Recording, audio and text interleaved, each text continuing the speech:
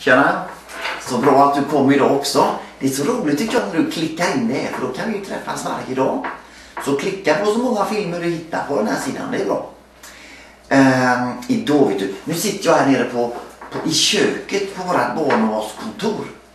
Och idag är det jättefint väder. Solen skiner ute, det är klarblå himmel. Man blir riktigt glad när det är sånt tycker jag. Men du, vi ska se. Jag, jag, jag läste en grej i Bibeln i morse och då, då tänkte jag på dig att det här ska jag läsa för dig. För du vet, har du varit rädd någon gång? Det tror jag. Det har du säkert varit. För jag är rädd ibland också va. Det, är ju, det kan ju stora vara också. Stora och små. Alla är rädda ibland tror jag. För det kan hända otäcka saker.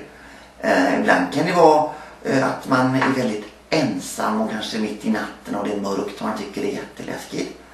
Eller så, en gång, ibland när jag kör bil så, så kan man bli jätterädd om det kommer någon galning som kör jättefort eller sådär. Det är läskigt. Men, och det kan vara många andra grejer också. Men då läste jag så bra här va. I Saltaren, det är ju gamla testamentet vet du.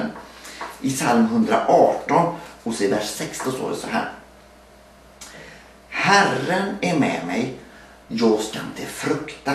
Alltså jag ska inte vara rädd betyder det. Vad kan en människa göra mig? Nej. Och du vet, Gud, han har ju lovat att vara med oss varenda dag.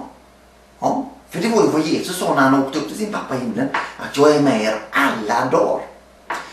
Och Gud, han har ju all makt. Ja, och Jesus också, han sa så här, jag har all makt i himlen och på jorden. Och han är med oss. Den som har all makt är alltså med oss varje dag. Det är ju fantastiskt. Har du tänkt på det? Då, då behöver man inte vara rädd för andra. Det står ju här. Vad kan en människa göra mig? Nej, ja, vi kan bli rädda så. Men vi kan alltid vara trygga. Eftersom Jesus är med oss varje dag. Visst är det bra? Det är ju så att livet med Jesus, det är helt fantastiskt. För lever man nära honom då kan man vara trygg. Det kan ju hända läskiga saker ändå, men man kan vara trygg. Och det är bra. Jag tror att vi ska be ihop. Om du knäppa händerna så här ibland. kan du göra med om du vill. Jesus, tack för att du är med oss varenda dag. Och då kan vi vara trygga och vi behöver inte vara rädda då. Tack Jesus att du har all makt i himmelen och på jorden. Precis där jag är också. Där är du och då är jag trygg. Amen. Okej. Okay.